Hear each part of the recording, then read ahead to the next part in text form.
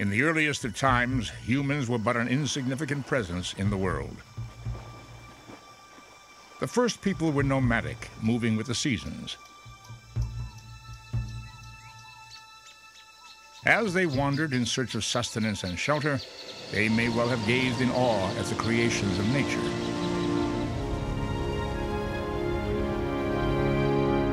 To them, natural wonders were clearly the work of gods.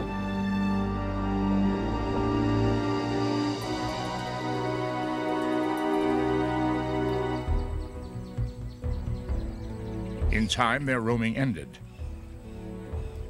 They settled the land and began to build.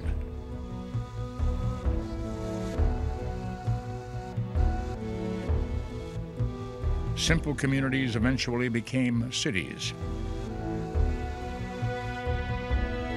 Form soon transcended function. Art and architecture gave expression to the early builders' deepest creative urges. In response to nature's most impressive works, humans wanted to leave a mark on the landscape of history. An inventive spirit drove many to challenge nature, to rival the world's intrinsic wonders. Great temples marked sacred sites. Mighty tombs became desperate bids for immortality. Vast constructions attempted to harness nature, or even to subdue it.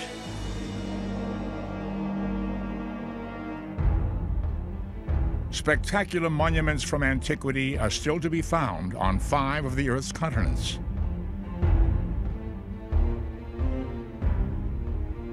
They were the products of great civilizations which rose and fell leaving only fragments of their creations behind.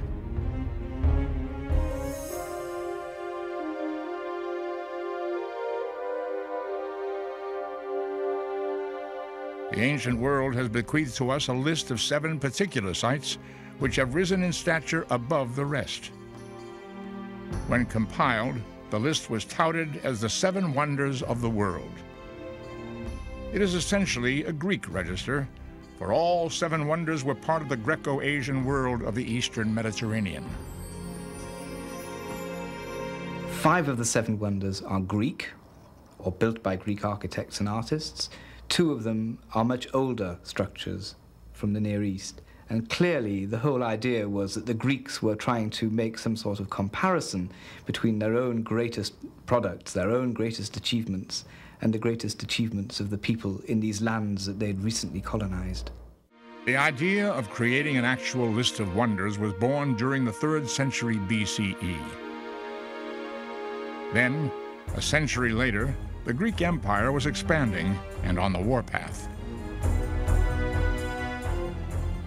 The armies of Alexander the Great had marched from the eastern Mediterranean into North Africa, across Persia, and on into India. As entire cultures fell before him, Alexander inspired a new era of building. Great cities and monuments sprang from his vision of a bold, triumphant future in which Greece would dominate the world. By the early part of the Hellenistic age, this is the world that Alexander will forge uh, after his death, uh, just through the sheer genius of his own strength, his intellect, and his vigor. Uh, there is a body of monuments that eventually uh, surpass almost everything that had been built before in the past. And when this does take place, certainly there is emphasis by the more learned individuals in the Hellenistic world to start creating a list of monuments that indeed were unique. And so what we get is a compiling of lists by geographers, historians, chroniclers, who take account of the physical features of the world as it existed uh, in that time period as modern men.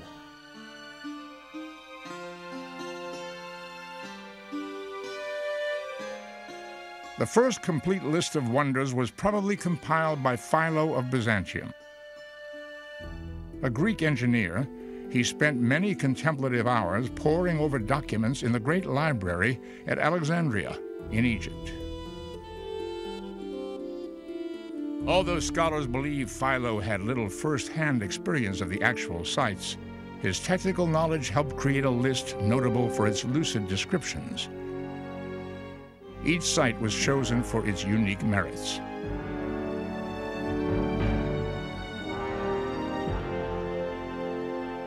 The three features which seem to qualify monuments to be in the list of seven wonders are, first of all, size. They're all large. The second thing, which most of them have, is that they are works of great artistry. They've got many sculptures or they're a wonderful piece of architecture. And the third thing is that they're great feats of engineering.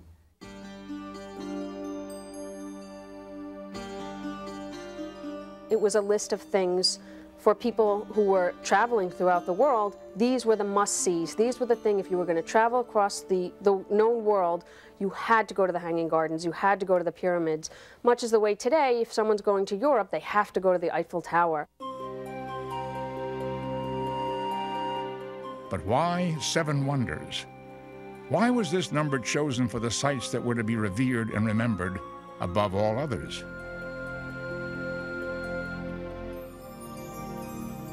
Throughout history, to many cultures, the number seven has been imbued with mystical qualities.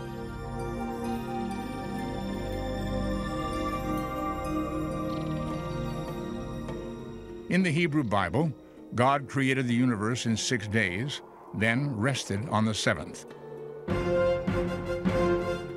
When Joshua laid siege to Jericho, seven priests with seven trumpets marched seven times around the city for seven days. Christian writings also embraced the number seven. There was said to be seven vices and seven virtues. Christ's final utterances were his last seven words spoken from the cross. Today, our weekly calendar is divided into seven days. We certainly know that there are sacred numbers, a variety of sacred numbers in terms of the more ancient Near Eastern uh, civilizations and uh, traditions. The number three and the number seven are considered pure numbers. They're complete numbers. But three monuments would be really very limiting in nature because there would always be a question why certain monuments were not added. Seven is a perfect number in, in many respects. It's a complete number. It can't be divided in half, and therefore you would not have a ranking of monuments. These would be monuments that would stand alone. With names familiar to most of us since school days, the seven ancient wonders are portals into remarkable civilizations long past. These were works of astonishing vision, crafted on a dazzling scale that defies the genius of the master builder even now. They were painstakingly fashioned by almost superhuman effort.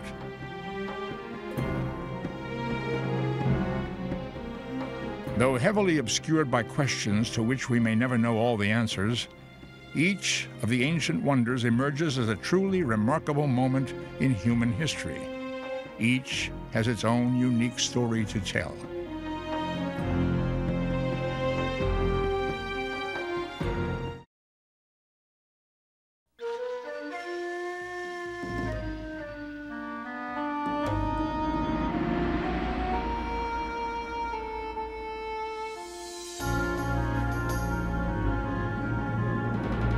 Like an immense, silent sentinel guarding the secret from mankind's most remote past, the Great Pyramid dominates the plateau of Giza outside Cairo. What would have motivated anyone to build a structure so enormous, so simple in form, yet so demanding in terms of sheer engineering skill? For almost 5,000 years, this vast artificial mountain of stone, together with its two later companions, have challenged the imagination of all who visit them. You look at them and you see the huge blocks, and you stand next to the blocks, and you see how diminutive you are in comparison to the pyramids. And there's all this open space around the pyramids, and it's just it's just awesome. You are standing in a spot where an ancient Egyptian could have stood. You are looking at something that the ancient Egyptians saw, that the Greeks saw, that the Romans saw, that the Arabs saw.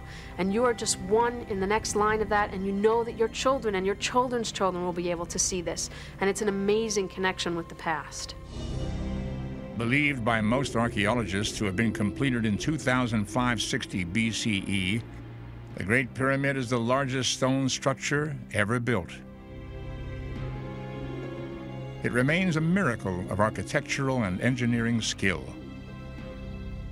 Comprising nearly two and a half million huge stone blocks, all interlocking with razor sharp precision, the pyramid soars to a height of over 400 feet.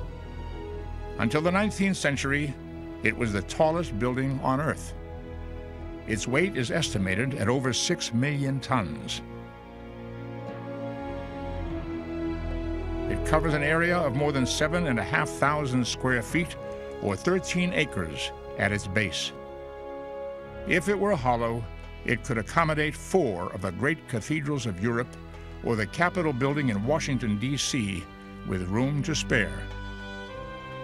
It is in every way a remarkable accomplishment.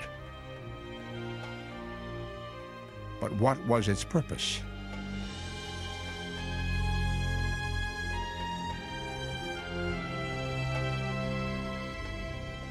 Long believed to be the tomb of the pharaoh Khufu, who ruled during the fourth dynasty of Egypt's Old Kingdom, to most scholars, the pyramid is a monumental attempt to enshrine an extravagant ruler's yearning for immortality.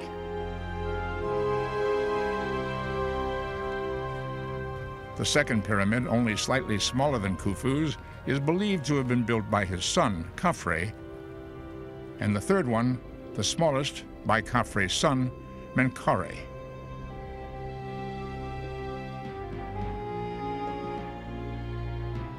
Two great funeral boats that were unearthed beside the Great Pyramid were meant to ferry the pharaoh's soul into the afterlife. Yet, if they were merely tombs, why were the pyramids laid out with such mathematical precision? Exactly aligned to the Earth's compass points. The three Great Pyramids could not have been laid out with these perfectly precise north, south, east, west alignments without the use of advanced astronomy. Even today, modern surveyors have to use astronomy to lay out buildings, and we could not lay out a building with the accuracy that that uh, pyramid is laid out. And if we could, we would ask ourselves, why bother? What's the point of doing this? You know, nobody's going to notice if your monument is two or three degrees off true north, and it'll make it a lot less expensive to do it. But these ancients were looking at the stars and very precisely aligning their monuments to the stars. And we're asked to believe that this was done by a people who just emerged from the Stone Age with uh, absolutely no technological knowledge whatsoever. Suddenly, out of nowhere, this extraordinary monument, a high tech achievement by any standards, just appears on the, on the desert. This is a great mystery totally unexplained by conventional history.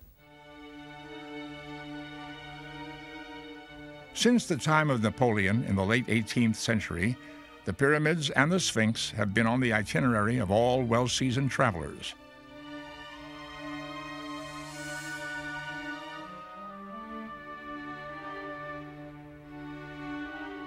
Today, millions throng to the site every year. Why does the Great Pyramid exert an inescapable magnetic pull on so many? If you enter inside, you are completely isolated from the whole world. You are alone. You are by yourself. You can close your eyes. You can feel the past. You can feel the future. You can feel the king. You can meditate. And this is why this pyramid is the only pyramid that attracts attract millions, millions of people all over the world. Some they come to meditate, some they come to do religious things. You know, there is hundreds of thousands of organizations who really have a belief in this pyramid.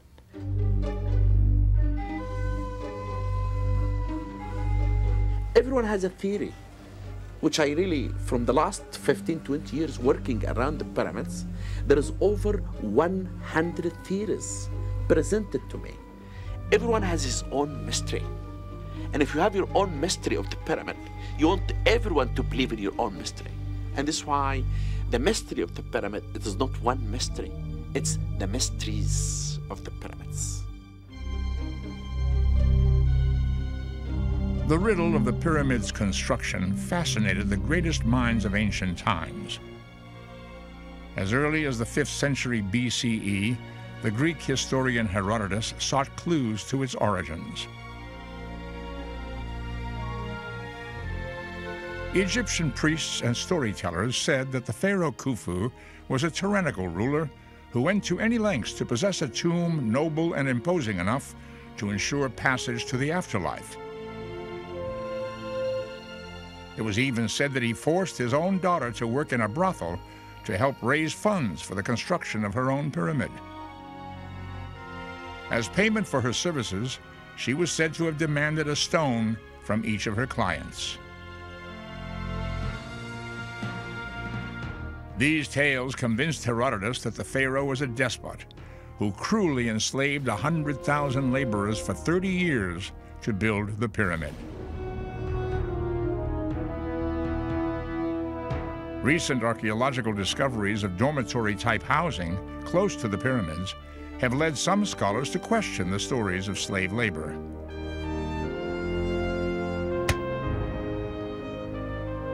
The pyramids were not built by slaves. This is introduced by the old movies in Hollywood, always showing the Egyptian building the pyramids and they uh, the guards pushed them and they hid them to do the work. That's not true. I always say that you know uh, slavery can build huge buildings, but it will never produce anything smart or genius. Building a pyramid is a genius work. People who will do this work, they had to do it with love. Archaeological studies reveal that even though a very large labor force was once employed at the site, the numbers involved were probably far less than the figures recorded by Herodotus. We know that it would have been an enormous effort because even a few thousand workmen kept on a site for months throughout the year would have taken a lot of effort in providing them with food and housing. But we do think that it was probably more likely 10 or 20,000 people were involved than the 100,000 mentioned by Herodotus. But does the presence of living quarters and hundreds of grave sites necessarily mean that the evidence dates back to the actual construction period? Was the site perhaps inhabited by large numbers of people long after the pyramid was built?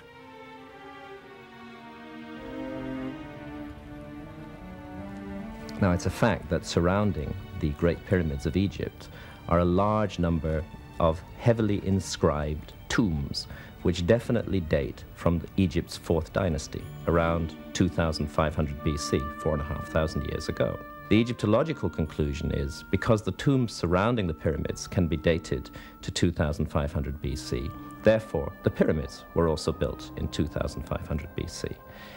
In my view, this is uh, a dangerous logical step to take. We, we know ourselves that there are, there are many cases of people wishing to be buried on sites which have ancient prestige and an atmosphere of sacredness around them.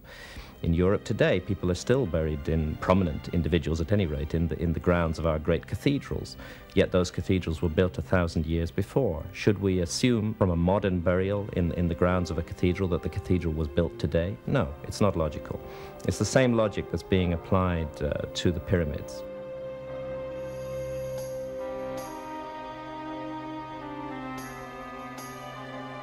The only likeness of the pharaoh Khufu ever found is this tiny statue, barely four inches high, unearthed hundreds of miles away in southern Egypt.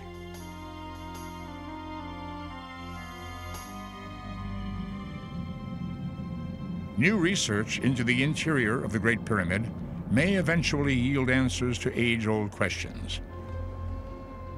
Why was no evidence of actual royal burial ever found here?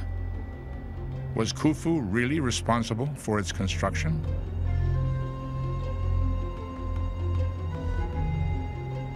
Many even believe that the design and dimensions of the building hold answers to profound mysteries about a vast, lost epoch of the human experience.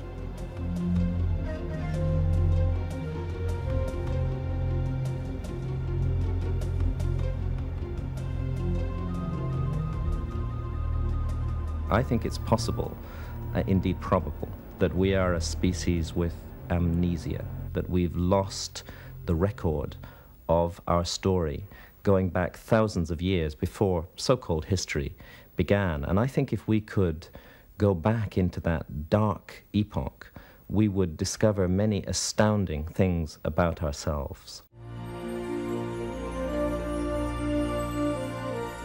For thousands of years, the Great Pyramid has tantalized and intrigued scholars and dreamers alike, and it is likely to do so for centuries to come.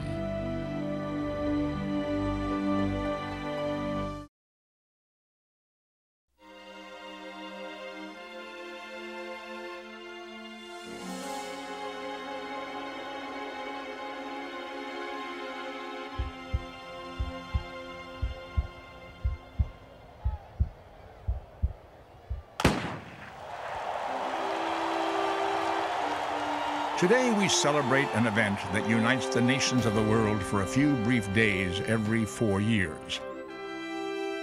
The Olympic Games is a high point in international relations, bringing out the best in the human competitive spirit.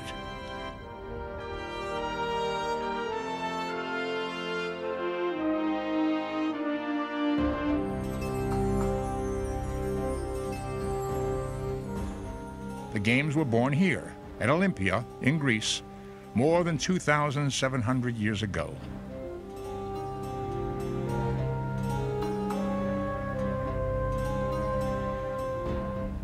By 433 BCE, the location had become the site of one of the seven wonders of the ancient world, a great statue of the god Zeus.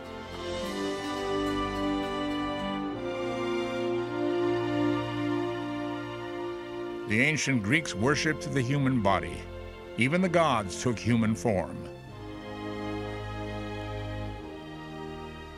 Foremost of all the gods was Zeus, father of the Olympic Games. Those competitions were held in honor of Zeus. Every runner, every discus thrower was throwing with all his might or running as fast as he could in honor of the great god Zeus people would travel from all over the Greek world, from the Black Sea, from the coast of Turkey, from Sicily, Italy, from Marseille, south of France, to come see the Olympic Games, to participate in the spirit of Greek camaraderie, and pay homage to their great god Zeus. To honor Zeus, a temple was commissioned by the citizens of Olympia in 470 BCE. Outwardly, it was a large but unremarkable structure made of local limestone. But what it eventually contained was extraordinary. Seated on a jewel-studded throne, the statue of Zeus was seven times the height of a man. There was barely a foot between the roof of the temple and the top of the statue's head. Whereas we marvel at the other six wonders of the world, we kneel in front of this one in reverence. The work brings praise, and the immortality present here brings honor to the beholder. Philo of Byzantium, 3rd century BCE. For an ancient Greek, visiting Olympia was tantamount to being in the physical presence of the gods. It took about five years to create the statue of Zeus. The sculptor's name was Phidias. Some said he was only able to achieve the daunting feat because he could speak directly to the gods, much as the Greek poet Homer was reported to have done. Homer says, Sing to me, muses, and ask for that inspiration. It seems likewise that Phidias was directly inspired by Zeus, had some sort of intuition or communicative powers with the beyond, a kind of contact with the parallel universe of the gods. Plotinus, a later Roman author, writes When Phidias carved his Zeus, he did so not by basing it on any model which was perceptible to the senses, but rather by taking from his mind an image which reflected the way Zeus would appear if he did, in fact, decide to make himself visible. Phidias was said to be the greatest sculptor of ancient times the creator of two giant statues at the Parthenon in Athens. Tragically, however, not a single piece of any of his statues is believed to have survived the centuries. In 1958, 2,000 years after Phidias' death, an astonishing discovery was made at the very site of the statue of Zeus in Olympia. It was the remains of Phidias' workshop where the legendary Zeus had been designed and built. Examination provided clues to the mysteries of the statue's creation. Evidence included molds for casting precious metals, as well as jeweler's tools used for working gold and ivory. A touching link to a life lived over 2,000 years ago was this simple mug inscribed, I belong to Phidias. Can you imagine the very cup from which Phidias drank as he was working on that statue for those five years? The letters, the carving of the letters on the base of that cup are meticulous. The shapes of the letters are beautiful. It probably was the case that Phidias himself scratched his name on the bottom of his cup. So great was Phidias' attention to detail that he constructed his workshop to match the exact height, length, and width of the temple. He could fit the statue together piece by piece to be sure of its dimensions before moving it to its final position.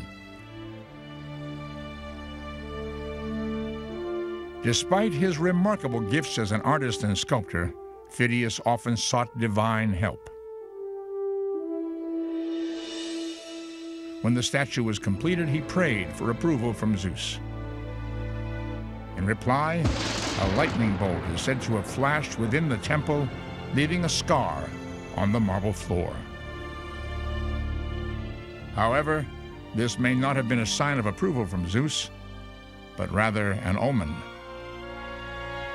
Less than a year after completing the statue, Phidias lay dead murdered by his own compatriots, some say out of jealousy or because of political intrigue. With his death, legends of the statue's strange supernatural powers began to abound. Almost five centuries later, the infamous Roman Emperor Caligula heard of the statue and became obsessed with the desire to possess it. Eventually, he ordered it seized and brought to Rome. Workmen were dispatched to capture it, but as they were preparing it for shipment, a strange cackle of laughter echoed from beneath its ivory shrouded skin.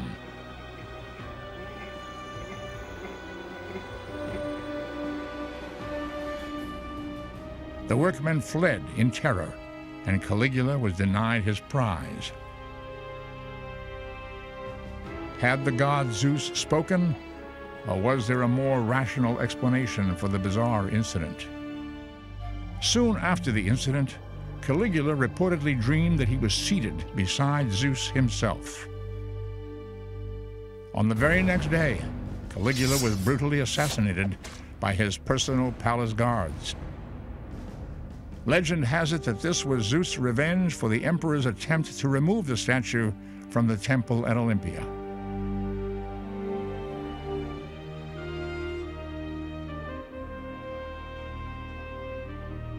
The majestic wonder would eventually fall, not to the greed of an emperor, but to a new religion sweeping the world.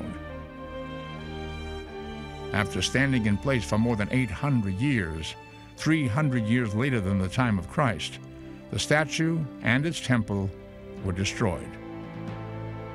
In the year 391, Rome's new Christian emperor Theodosius, fearing Zeus's continued hold on pagan believers, ordered the statue dismantled and stripped of its gold.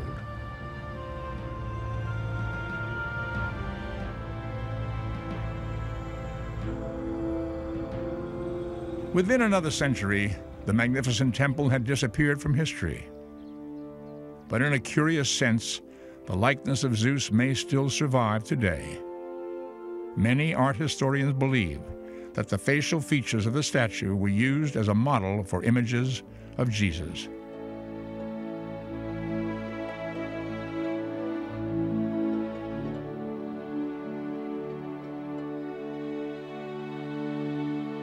Because so few traces of them remain, the quest for the seven wonders of the ancient world is often a journey into the unknown. For archaeologists, every precious fragment unearthed provides surprising insights into the classical world and raises provocative new sets of questions.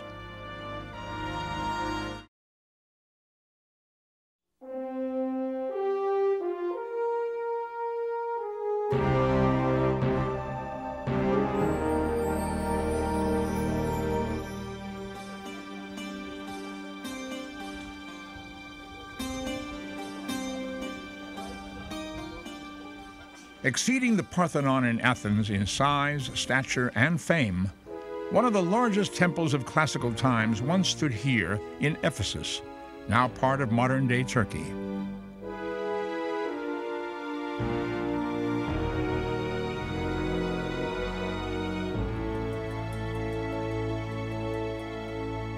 It was the Temple of Artemis, funded by the Greek king Croesus it attracted more pilgrims than any other temple in the ancient world. What was its purpose? Why was it built? And what is the mystery surrounding the site of its construction?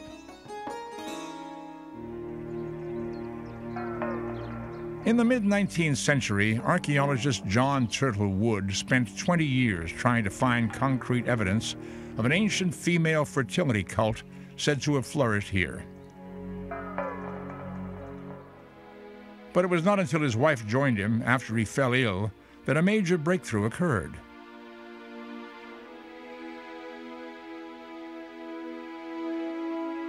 Mrs. Woods was in charge when workers struck a marble floor.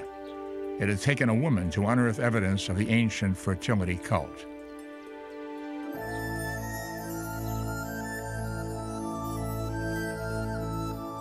But the site was sacred long before a temple was built. In fact, it may have been chosen because of an extraterrestrial intruder. Ancient writings record that in the second millennium BCE, a meteorite plunged into the hills near the seaport of Ephesus. Instantly, it became a revered object of worship. The grove of trees where the impact scorched the earth was declared a hallowed site. Over time, it became popular to many people. Centuries later, it was said that a warlike race of women from the southern reaches of Russia came to the area and established a settlement in the Holy Forest. The women were called the Amazons. For much of history, the Amazons and the mysterious cult they founded were thought to be pure legend.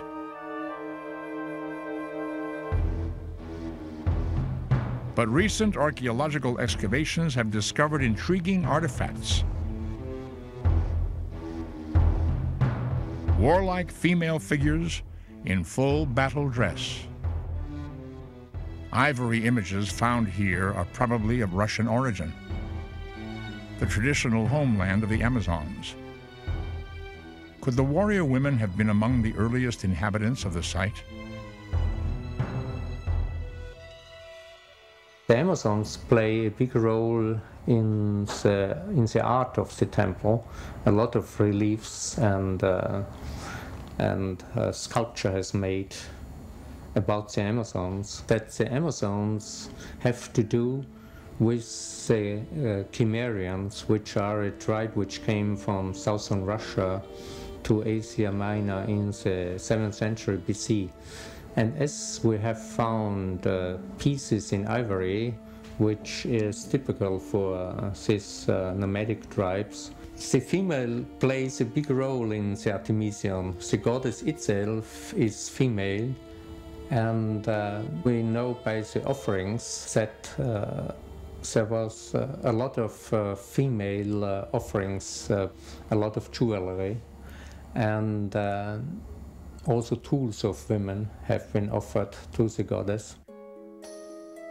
During the earliest human occupation of the site, people worshipped a formless pagan deity that ruled over sexuality, childbirth, and nurturing. Then, in time, the deity began to acquire human features as worshippers merged primitive paganism with their belief in the Greek goddess Artemis.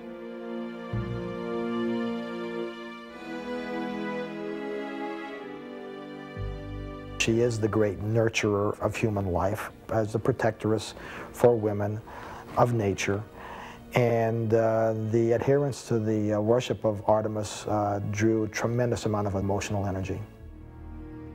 In many respects, to me, the Temple of Artemis speaks of the deep religiosity, the deep uh, sacredness, uh, the deep feelings uh, to this grand mother of humanity. As the fame of the Temple of Artemis spread, pilgrims brought offerings from distant lands, as far away as India, Persia, and Spain.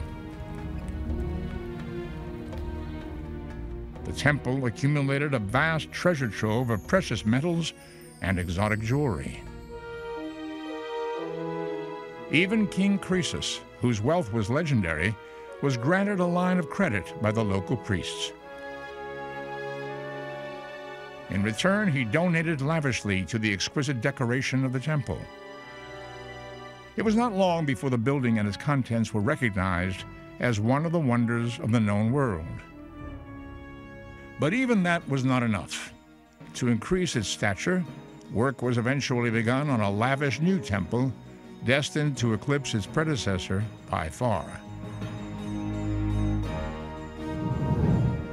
The columns alone were 60 feet high. That's not even counting the pediment on the top. So from ground level, you had a 10 meter podium, 60 feet of uh, columns. Then you get your, your pediment and your entablature, and add another 20 to 30 feet, and it was the size of a football field.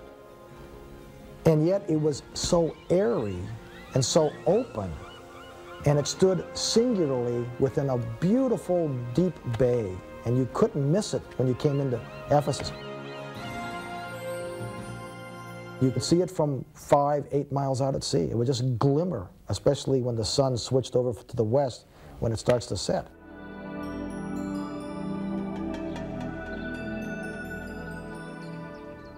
One of the temple's greatest mysteries was the way in which the goddess Artemis was depicted. For centuries, scholars have debated the meaning of her strange attire. What were these bulbous appendages? Were they multiple breasts? Or were they dates or eggs?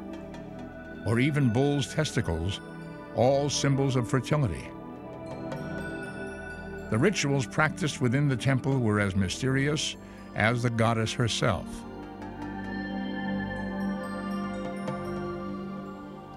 Only a privileged few would have actually had access into the um, inner chamber of the temple itself. There was a complete hierarchy of priests and priestesses and uh, dedicated virgins who would serve time in the worship of the goddess Artemis. After all, classical religion was an affair of cult, and there were prescribed practices that had to be maintained to ensure the appropriateness of the sacrifice, that is, uh, types of animals being uh, worshipped, uh, burnt at the offerings, types of votive offerings placed in the shrine itself. In the sacred rituals, were only animals sacrificed to the goddess Artemis? Recent archaeological discoveries have raised the disturbing possibility that humans may have been slaughtered here. We have found a lot of animal bones in the Artemisium, which uh, are the remains of the sacrifices. We have found bones of pigs, of cattle, of goats, of sheep, also of deer. But uh, there's one strange thing. We have also found human bones. Not very much, but they exist. The bones are cut, or some of the bones are cut, and so they must have something to do with sacrifice or something like that. And there's also one bone which comes from a children. In 356 BCE, two centuries after construction first began, the Temple of Artemis came to a fiery end. In what may have been one of history's most notorious cases of arson, a man named Herostratus was believed to have set fire to the complex.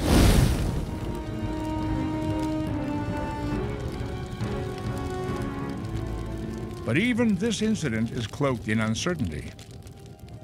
Some experts argue that nature, not man, was to blame for the demise of the shrine. It was not Herostratus who set fire to the temple, but lightning, a thunderstorm. And the thunderstorm, a lightning which hits the roof of the temple, easily can set fire to the beams. And of course, the moment a grand fire starts up, underneath a marble roof, even the marble would burn and burn down to chalk. For the worshippers of Artemis, the pressing question was why the goddess failed to protect her temple. The answer, they concluded, was that she was busy elsewhere. The night of the fire was the very night that Alexander the Great was born.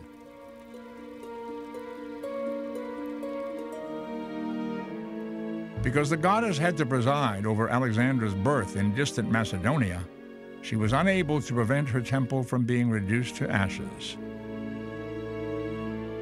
Faced with the destruction of their goddess sanctuary, the followers of Artemis performed an amazing act of devotion. Within a century, they rebuilt the vast marble temple to exactly the same specifications as its predecessor.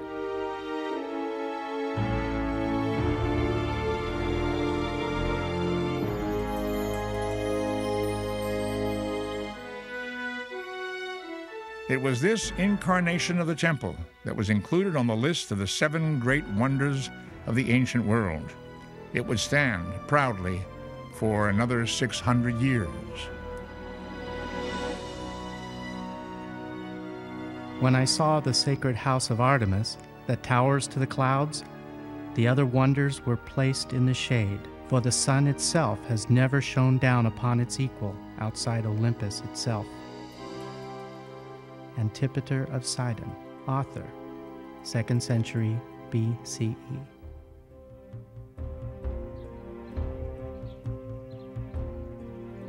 For as long as belief in the goddess Artemis flourished, the temple endured.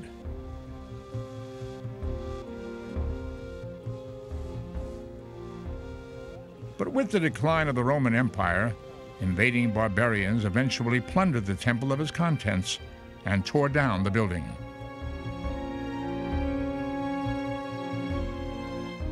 The treasure was carried off by sea. But as fate would have it, storms sank all the vessels, and the fabulous riches were lost forever.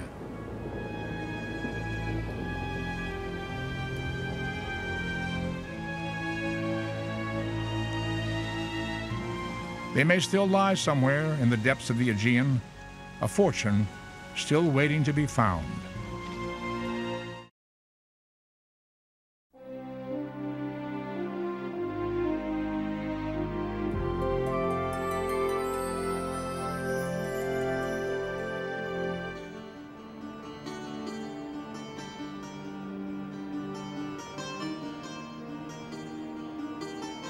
Of all the seven wonders of the ancient world, there is one that inspires the belief that love may transcend death.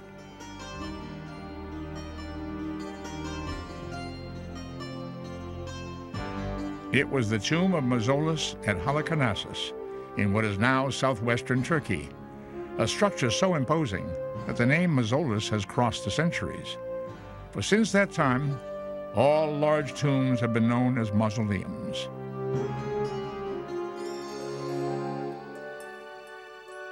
At the heart of the story lies the tale of two lovers, locked in a desperate bid to preserve their immortality and their devotion to one another. He was Mausolus, the young king of Caria, a province of the Persian Empire in what is now modern-day Turkey. She was his lovely queen, Artemisia. The king and queen, husband and wife, were also brother and sister.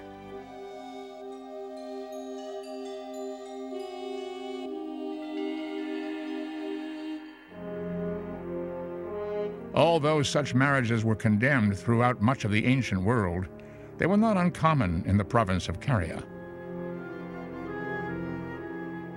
This whole idea of sister marriage is something that really seems to be just from this Carian dynasty, this one dynasty. Her other brother and sister were also married to each other.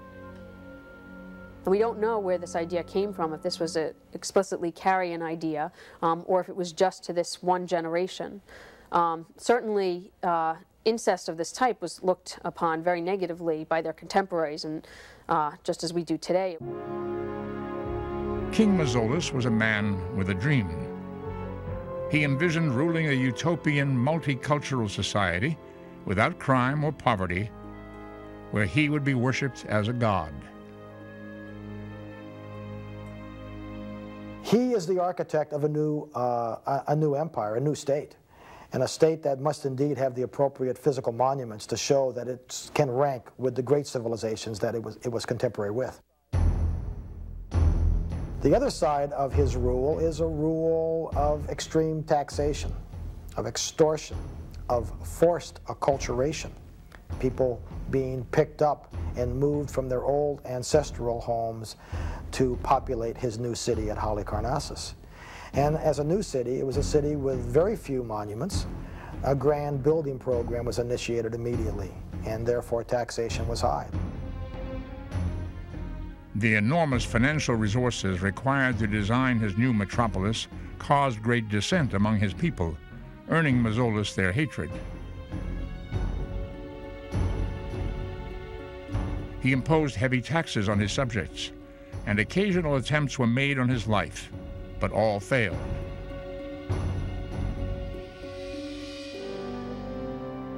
Included in his vision was a plan for a tomb to hold his body and that of his sister, Queen Artemisia.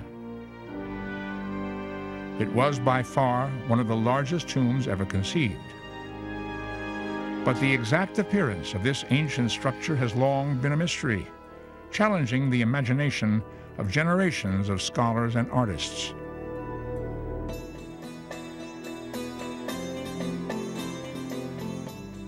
It is believed to have been an extravagant combination of architectural styles and cultural influences.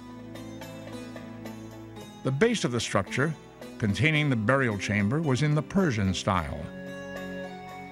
It was here that the remains of the king and queen would rest. On the next level, a Greek-influenced colonnade. Above that, surmounting the structure, an Egyptian-style stepped pyramid. Although culled from seemingly disparate elements, the sum total was an amazingly harmonious design, unlike anything ever seen before. The, the, mausoleum was especially famous for its statues. It had about 250 statues. Some of them were more than life-size, great big statues, and brightly painted and they were arranged in tiers um, on the around the structure. The structure itself consisted of uh, a tower-like building with a pyramid on the top as the roof and the colonnade beneath, and then there were these steps with the tiers of statues arranged around them. The whole thing was built of marble, and so would have been a mixture of gleaming white marble and brightly painted statue, and brightly painted friezes as well. It would have been a really a tour de force of sculpture.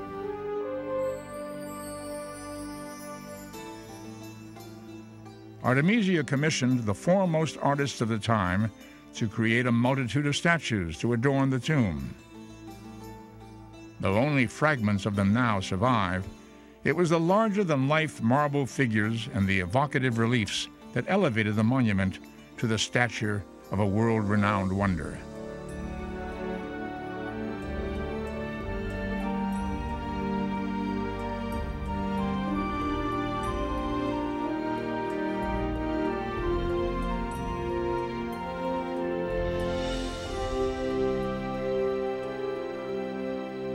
Mausolus did not live to see the tomb completed in its full and final glory. When he died in 353 BCE, his queen, Artemisia, ordered a lavish funeral in his honor.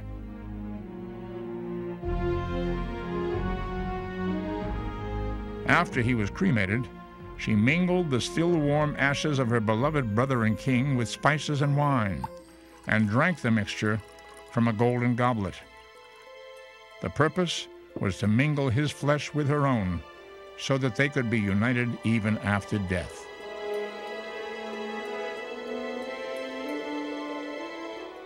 But this was not the only bizarre ritual that took place at the funeral.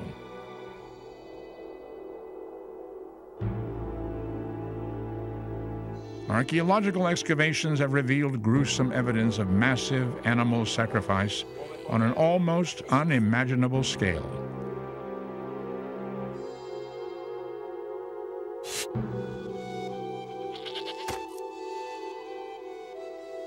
The discovery of a pool of congealed blood on steps leading to the burial chamber, as well as piles of dismembered bones, indicate that hundreds of animals were slaughtered in honor of the king.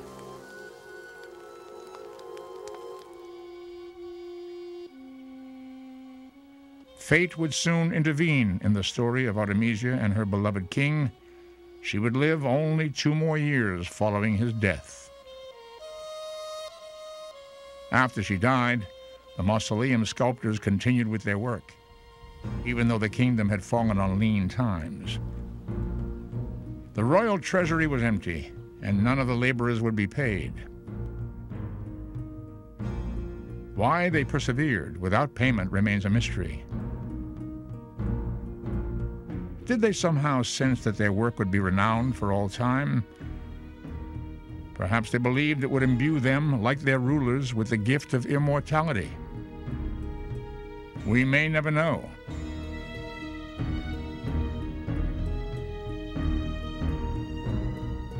But the mausoleum stood proudly for more than a thousand years before natural weathering and a devastating earthquake took their toll.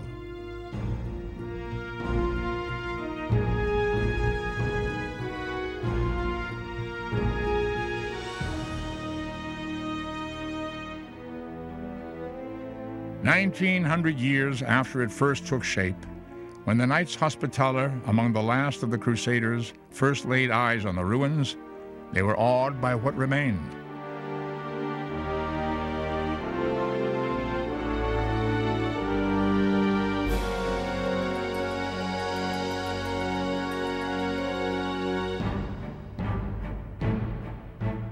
Nevertheless, the knights needed to reinforce their nearby fortress, the castle of St. Peter, against their enemy, the Turks.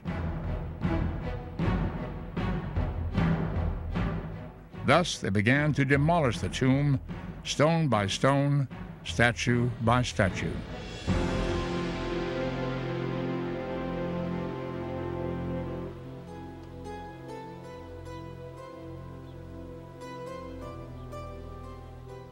We have some commentary from some of the knights themselves in terms of uh, manuscripts that they marveled at the scenes that they saw, scenes, hunting scenes, and scenes of individuals fighting, animated scenes fighting in terms of conflict, Greeks and Persians, and Amazons and Greeks and Lapiths and centaurs, and they make notes of the wonderful scenes that they see. And then they toss the fragments, they break them down into smaller pieces, and they uh, burn them to extract the lime to make cement. They literally removed almost all of the uh, architectural uh, structure, columns, and uh, friezes went into the construction of the, uh, the, Castle of St. Peter.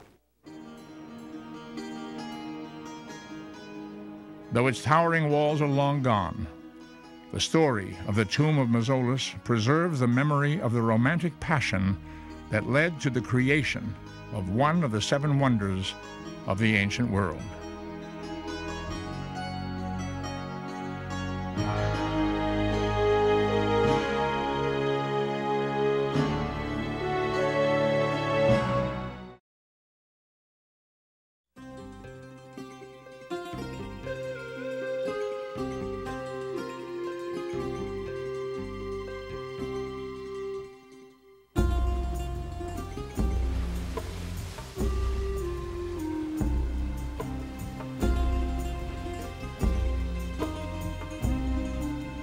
Island of Rhodes with its deep and inviting harbor.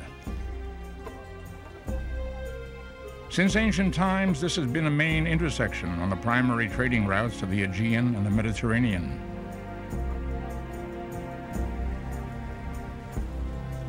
The people of this sun-drenched island were prosperous, proud, and grateful.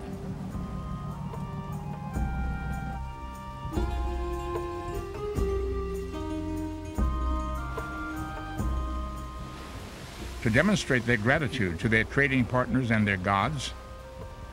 And in commemoration of an earlier military victory, they decided to build a statue of unprecedented proportions.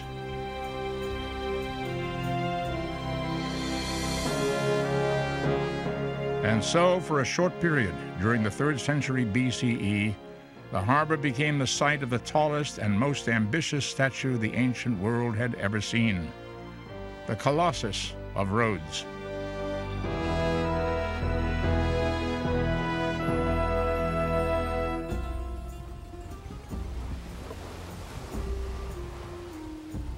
An idea of what this legendary monument may have looked like comes down to us through images depicted on a few coins that survive from the era.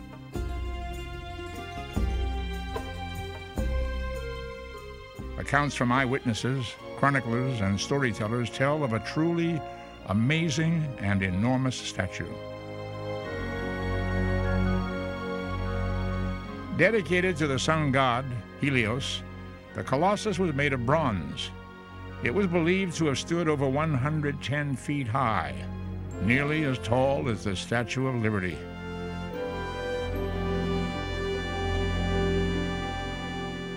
Descriptions from the time speak of a naked man proudly facing east to the rising sun, torch in one hand and spear in the other. For ships arriving at the port of Rhodes, the sight must have been truly breathtaking. If you can imagine sailing into the harbor of Rhodes, from quite a distance, seeing this gleaming bronze statue holding a torch, a torch of freedom over the harbor, of a monument so grand, so beautiful and bold, inspiring one to sail in and to take refuge under the aegis of the sun god Helios on the island of Rhodes. It must have been a tremendous feeling of awe, of inspiration, of direct communication with the God of the sun. Visualizations of later artists through the ages have depicted the Colossus as being so vast that it straddled the harbor, legs wide apart. Even Shakespeare used the image as a metaphor commemorating heroic greatness. Why, man, he doth bestride the narrow world like a colossus, and we petty men walk under his huge legs and peep about. The History of Julius Caesar by William Shakespeare, 1599.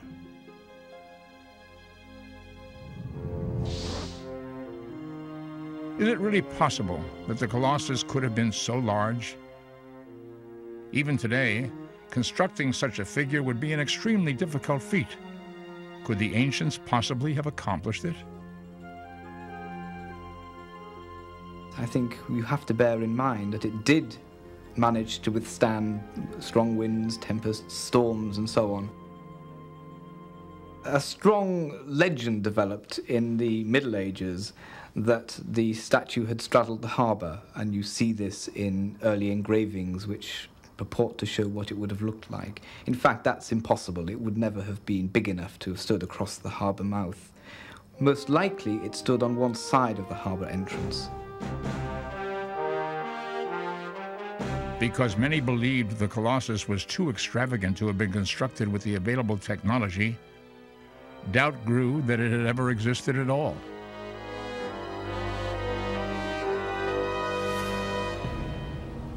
Then, in recent years, new evidence came to light in and around the harbor of Rhodes.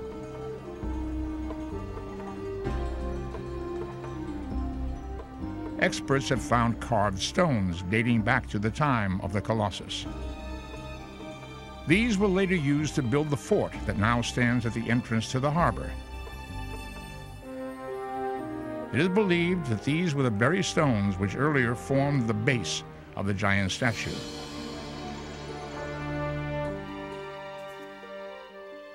The Colossus itself was so large that it could not have been constructed entirely from stone.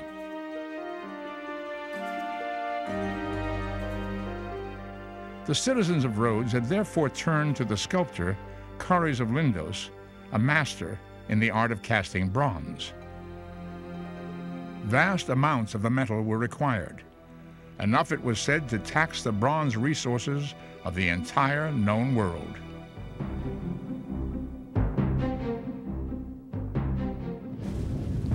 The artist expended as much bronze on it as to cause a severe dearth in the mines.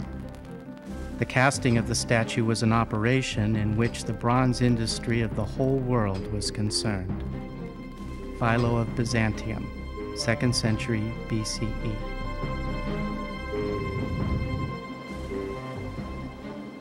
Bronze would also come from an unlikely source.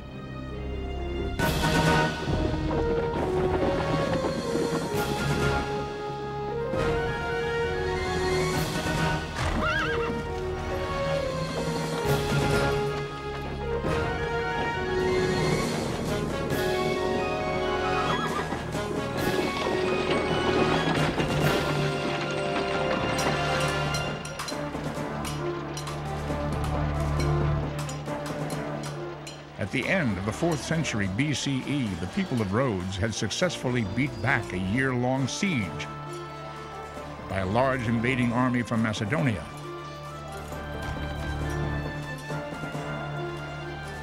It was decided to fashion the Colossus from the bronze weapons of their defeated invaders. A captured giant enemy siege tower, some nine stories in height, played a vital part in the construction process.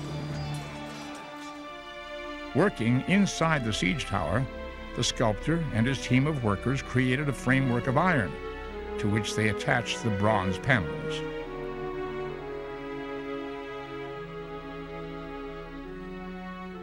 And that gives us another clue then that it was columnar in shape, that it was not straddling the harbor, but it was like a shaft within the wooden structure of the nine story siege tower. An ancient author says that a human could barely wrap their arms around one finger. And that gives us a real picture of how big those hands must have been. The thigh was 11 feet in width, in breadth. The ankle, five feet in breadth.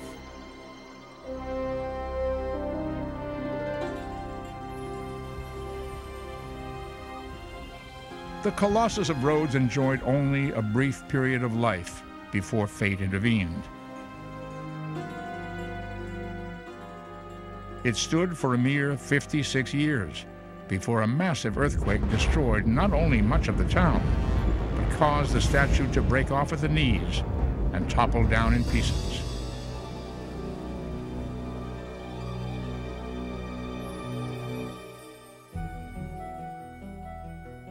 It is unclear why the people of Rhodes chose not to rebuild it. Perhaps they believed it had been struck down by Helios, the sun god himself.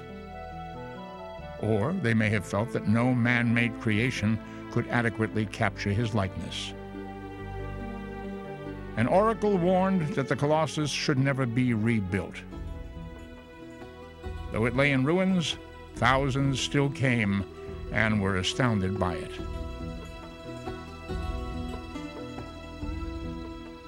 Even as it lies, it excites our wonder and imagination.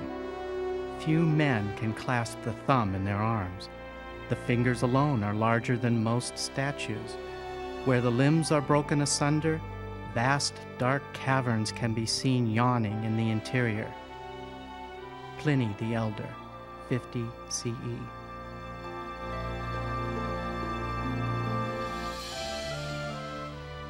After it had fallen, the pieces remained on the ground, remained lying where they'd fallen, and people came to look at them and said that they tried to put their arms around the fingers to see how big they were and so on of this fallen statue.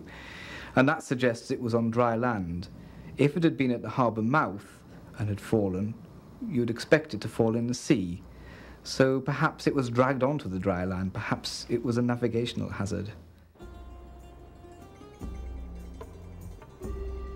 The statue lay untouched for another 900 years, until the Arab invasion of Rhodes in the year 654. The bronze, which was still a highly prized commodity, was sold. Nearly a thousand camels and dozens of ships were required to carry the sections away.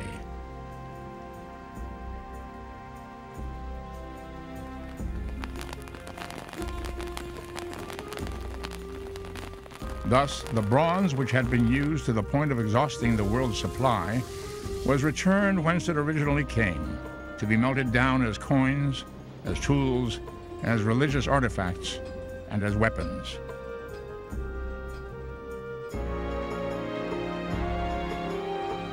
Undoubtedly, some of it survives to this day, in one form or another, an enduring link to that ancient time when the Colossus was one of the seven wonders of the world.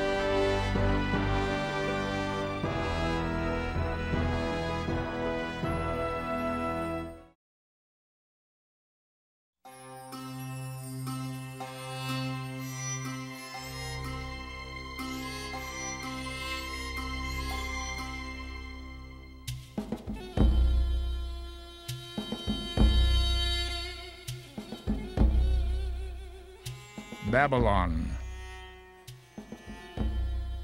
For a brief moment in the 6th century BCE, it was reputed to have been the most magnificent city in the world.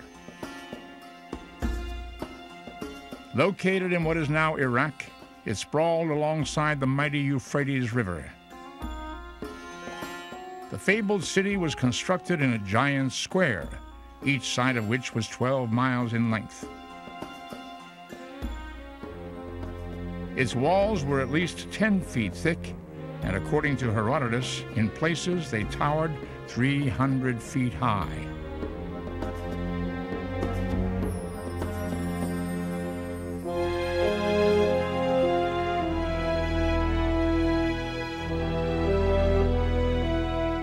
The crowning glory of the entire complex was said to be the famous Hanging Gardens.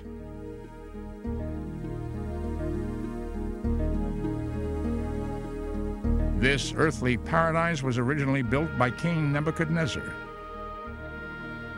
He was saddened by the homesickness of his favorite wife, a princess from a kingdom in the mountains to the northeast. She desperately craved the cool streams and lush trees of her distant homeland.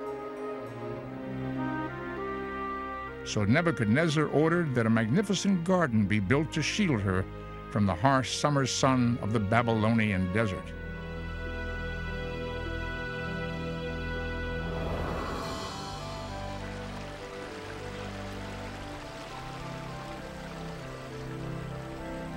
The paths are full of scent. The waterfalls sparkle like the stars of heaven in this garden of pleasure. The pomegranate trees, which are clothed with clusters of fruit like vines, enrich the breezes with their fragrance. King Ashurnasirpal II, 9th century BCE.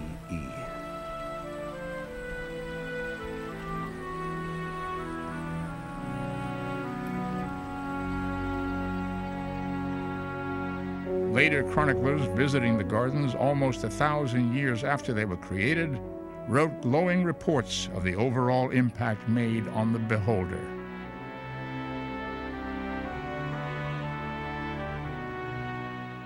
Numerous lofty trees afford a grateful shade above the city. The trees are 12 feet in circumference, 50 feet in height. A distant spectator of these shaded groves might suppose them to be forests growing on a magnificent wooded mountain. Quintus Curtius, writer, 1st century CE. For centuries, historians have tried to imagine what the gardens looked like. Some believe that Herodotus, the Greek father of history, reported a magnificent garden somewhere in the region during the 5th century BCE, but his writings do not mention it. Most accounts describe a structure 30 stories high. The gardens were apparently built on a series of terraces. There was a profusion of exotic flowering plants, meticulously arranged and tended, all growing far above the city throngs.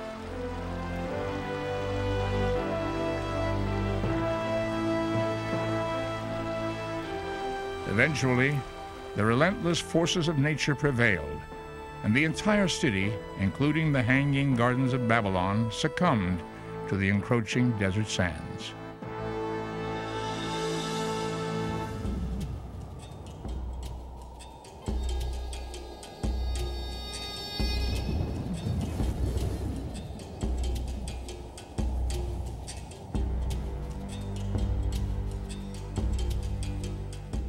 Legend of the Hanging Gardens, like the Garden of Eden, has always captured the popular imagination.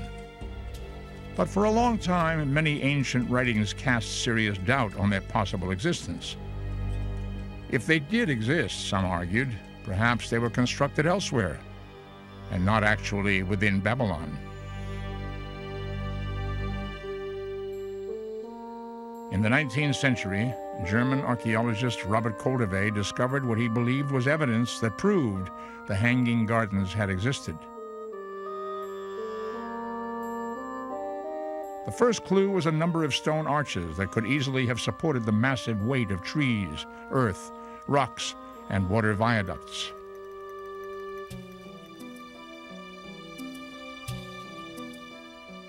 Then he found a shaft descending from rooftop level deep down into the ground. Could this have been a well from which water for the gardens was drawn? Further research revealed that the area directly beneath the roof was used for some form of storage. Could this have been a water reservoir? If so, how was water transported all the way up to rooftop level centuries before the invention of the pump? Careful examination of ancient Greek texts provided the answer. To get water to the very top of the roof of the garden, there are special spiral screws.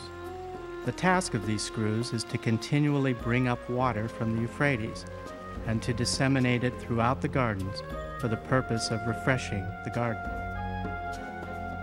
Strabo, historian writer, 1st century BCE. Though a new technology at the time, in later centuries the rotating screw pump would become known as the Archimedes screw. With its ability to deliver large quantities of water with great efficiency, it was eventually to revolutionize agriculture throughout the world. Strangely, though, none of the ancient texts specifically mention this type of pump in Babylon itself.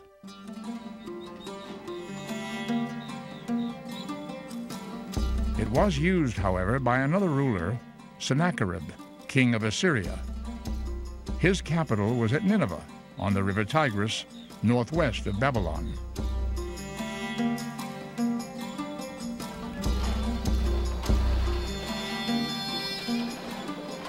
Sennacherib made some enormous engineering works to divert the water from mountain streams and bring it together along a huge aqueduct across the valley to Nineveh.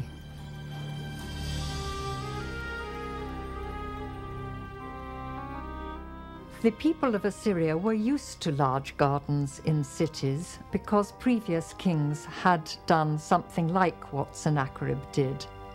And Sennacherib says in his own inscriptions that the gardens and his palace were a wonder for all peoples. So I suppose he hoped that people would come and admire them.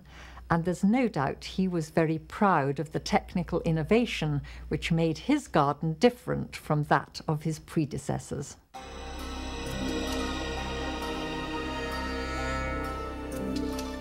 New studies of the location of Nineveh place Sennacherib's gardens close to the entrance of his palace on the bank of the river Tigris.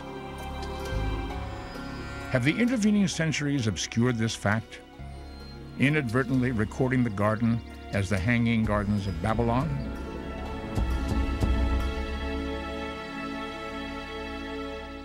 I'm now fairly happy with the idea that the gardens did really exist but at Nineveh rather than Babylon. Uh, I think until this new theory was developed in the last few years, I was beginning to think that they were just a, flight of romantic imagination.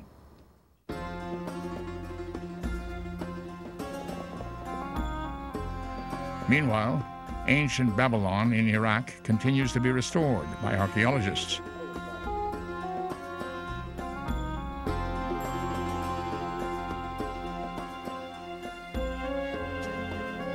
Perhaps someday it will be possible to confirm the true location of the real Hanging Gardens.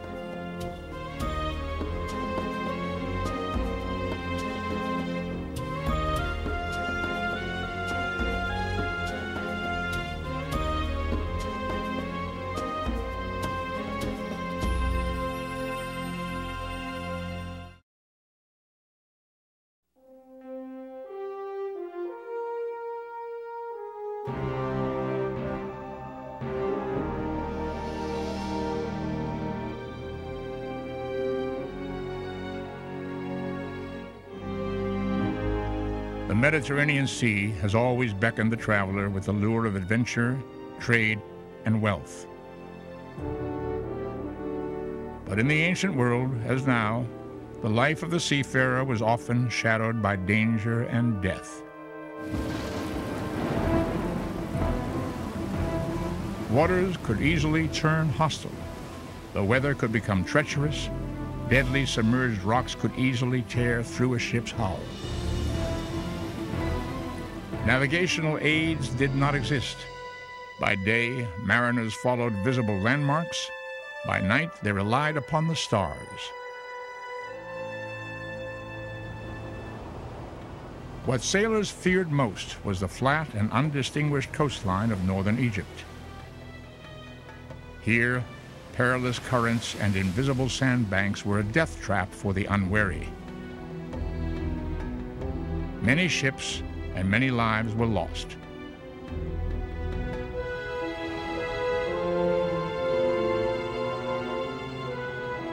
This was the site of one of the seven wonders of the world, the Pharos Lighthouse at the port of Alexandria.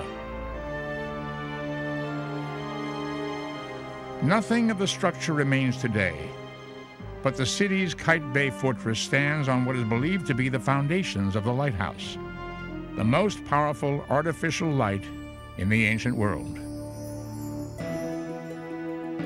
The Pharos not only warned ships away from the dangerous coastline, but was a welcome beacon for weary travelers. It was a symbol of promise, of safety, and of survival. It stood guard outside the busy port of Alexandria, the world's first city of more than a million inhabitants. Constructed of white marble, The lighthouse towered 440 feet, or over 30 stories high, enclosing an extensive interior network of corridors, ramps, and stairways. It was an unmistakable landmark.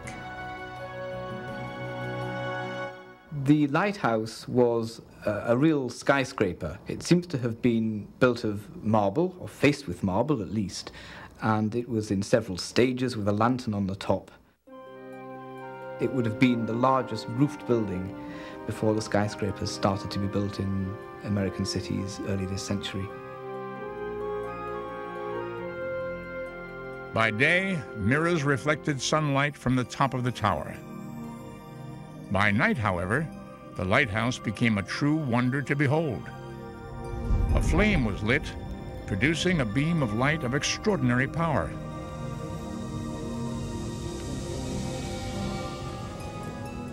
But how did the light work? What kind of fuel did it use? I don't think that they, they could use timber because timber was imported in Egypt. But we don't know exactly the source of energy. We don't know if it, if it was wood or oil again. And so we have no precise indications, only suppositions.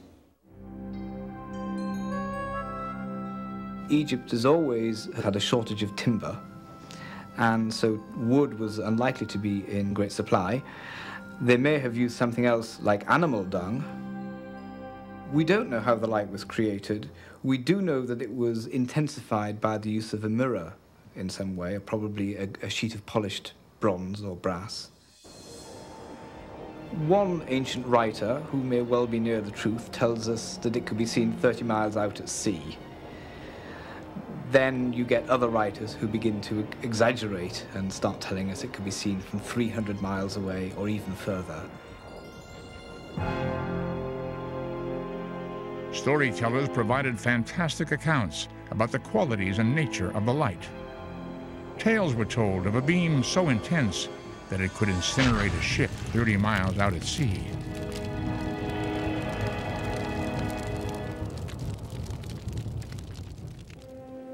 The larger-than-life legend of the light burned brightly in the minds of all who knew of it. It shone for nearly 1,700 years before it was extinguished by a series of violent earthquakes during the 14th century. Most of the structure collapsed into the sea.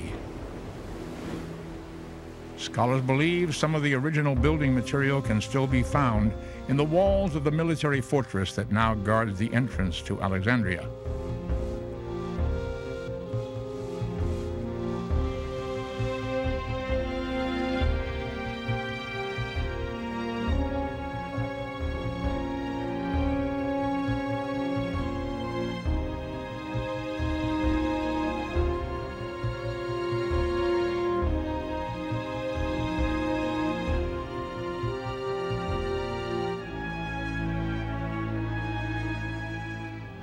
Recent diving expeditions to the harbor floor have brought up pieces of statuary, providing a tantalizing hint of what may still lie beneath the waves.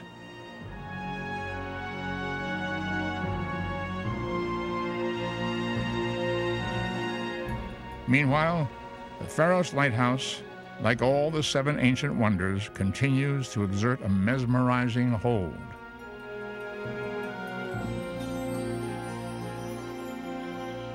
Why the seven wonders of the ancient world still fascinate us today is the fact that they're all created by human beings. They are human creations of such imagination, of such breadth of scale, of such vision, and of such artistic and technical competence that we can appreciate them even some two to three thousand years later. Why they have survived in our imagination is because in some respects there's a vestige of what it is to be human. It's that inquisitive spirit to constantly go back to the past, to understand what our forebears had indeed achieved.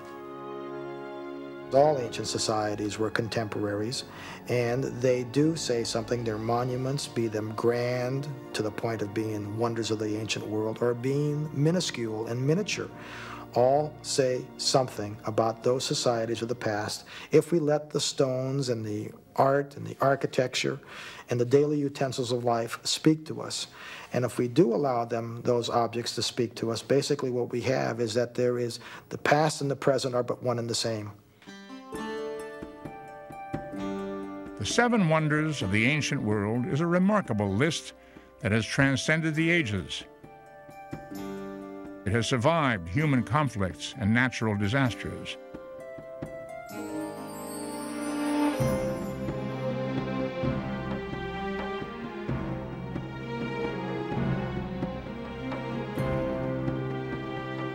It remains an open portal to the ancient world, granting us a vision of the best the human creative spirit can achieve.